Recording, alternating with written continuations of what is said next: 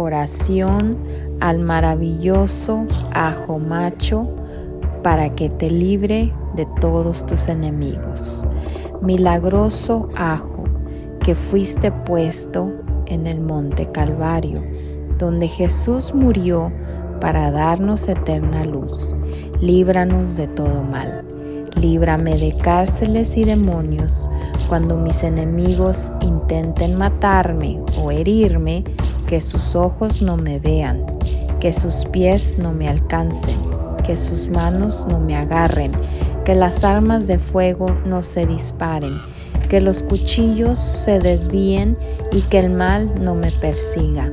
Milagroso ajo de la bondad Retírame envidias, apártame de los enemigos, ayúdame en mi trabajo o negocio y asegúrame del cariño de los que me rodean.